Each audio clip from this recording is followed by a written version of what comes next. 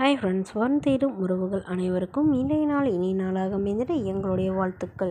நம்மளோட சேனலில் வழங்கக்கூடியதுன்னு பார்த்திங்கன்னா முற்றிலும் இலவசமான வரன் பதிவுங்க. ஸோ இந்த பதிவில் கூட உங்களுக்கான வாழ்க்கை துணை வீடியோ ஸ்கிப் பண்ணாமல் பார்க்கணுன்னா நம்மளோட சேனல் சப்ஸ்கிரைப் பண்ணிக்கோங்க. பெயர் ராதா வயது முப்பத்தி ஒன்பது வயது ஆகுதுங்க. ராசி ரிஷப ராசிங்க ஜாதின்னு பார்த்தீங்கன்னா இந்துள்ள பிள்ளைமார் சமுதாயத்தை சார்ந்தவங்க. படிப்பு பிஎஸ்சி முடிச்சிருக்காங்க. இவங்க கவர்மெண்ட் ஜாபில் வேலை பார்த்துட்ருக்காங்க இவங்களோட திருமண நிலையம் பார்த்திங்கன்னா இவங்களுக்கு செகண்ட் மேரேஜ் தான். சொல்லியிருக்காங்க. ஸோ வரக்கூடியவருக்கு ஃபஸ்ட்டாக இருந்தாலும் ஓகே செகண்டாக இருந்தாலும் ஓகேன்னு சொல்லியிருக்காங்க. இவங்களுடைய முகவரின்னு பார்த்திங்கன்னா இவங்க சேலத்தில் வசிக்கிறாங்க. ஸோ இவங்களுடைய எதிர்பார்ப்புன்னு பார்த்திங்கன்னா மணமகன் ஒரு டிகிரி முடித்த நிரந்தரமான ஒரு வேலையில் இருக்கணும். தன்னை போலவே ஒரு கவர்மெண்ட் ஜாபில் இருந்தால் பெட்டராக இருக்கும்னு எதிர்பார்க்குறாங்க.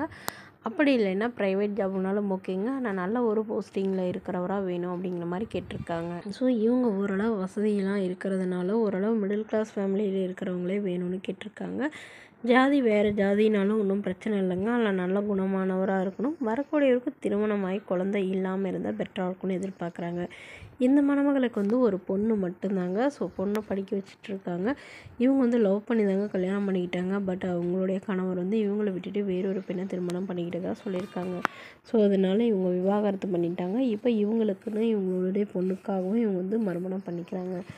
ஸோ வரக்கூடியவர் வந்து எந்த வித எதிர்பார்ப்பும் இல்லாதவராக வேணும் அப்படிங்கிற மாதிரி கேட்டிருக்காங்க. ஸோ இந்த மணமகளை உங்களுக்கு பிடிச்சிருந்தா கீழே உள்ள வாட்ஸ்அப் நம்பரை தொடர்பு கொள்ளவும். அடுத்த வரன் பெயர் பார்த்தீங்கன்னா கிருஷ்ணவேணி. வயது நாற்பத்தி மூன்று வயது ஆகுதுங்க ராசி கடக ராசிங்க ஜாதின்னு பார்த்தீங்கன்னா இந்துள்ள பிள்ளைமார் சமுதாயத்தை சார்ந்தவங்க. படிப்புன்னு பார்த்தீங்கன்னா பத்தாம் வகுப்பு முடிச்சிருக்காங்க. சொந்தமாக பேக்கரி வச்சு நடத்திட்டு வராங்க. இவங்களோட திருமண நிலைன்னு பார்த்தீங்கன்னா இவங்களுக்கு இரண்டாம் மனம் தாங்க. ஸோ வரக்கூடியவருக்கு ஃபஸ்ட்டாக இருந்தாலும் ஓகே செகண்டாக இருந்தாலும் ஓகேன்னு சொல்லியிருக்காங்க. இவங்களுடைய முகவரின்னு பார்த்தீங்கன்னா திருச்சிராப்பள்ளியில் வசிக்கிறாங்க. இப்போ இவங்களுக்கு வந்து ஏற்கனவே திருமணம் ஆயிடுச்சுங்க திருமணமாகி இவங்களுடைய கணவர் வந்து தவறிட்டதாக சொல்லியிருக்காங்க. அது எதிர்பாராத விதமாக ஆக்சிடெண்ட் ஆகி தவறிட்டதாக சொல்லியிருக்காங்க. ஸோ அந்த பேக்கரி வந்து இவங்க வச்சு ரன் நடத்திட்டு வராங்க. நல்ல ஒரு வருமானம் வரதாக சொல்லியிருக்காங்க. ஸோ இவங்களுக்கு ஒரு பையன் மட்டும்தாங்க. பையனை வந்து ஓரளவு நல்லா படிக்க வச்சுட்டு இருந்தாங்க பட் பையன் வந்து லவ் மேரேஜ் பண்ணிட்டு அவங்க மாமியார் வீட்டுக்கு போயிட்டு தான் சொல்லியிருக்காங்க. இவங்கெல்லாம் வந்து அவங்க கண்டுக்கிறதே இல்லைன்னு சொல்லியிருக்காங்க.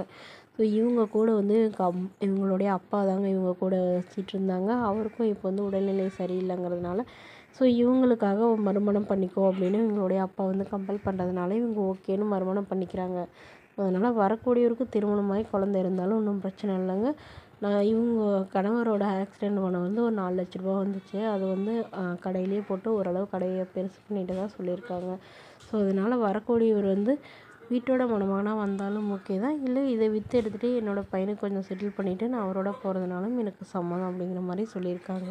ஸோ இந்த மணமகளை உங்களுக்கு பிடிச்சிருந்தா கீழே உள்ள வாட்ஸ்அப் நம்பரை தொடர்பு கொள்ளுவோம். இது போன்ற இலவசங்களை உடனுக்குடனே உங்களுடைய ஃபோன்லேயே தெரிஞ்சுக்கலாம் நம்மளோட சேனல் சப்ஸ்கிரைப் பண்ணிக்கோங்க. Okay friends thank you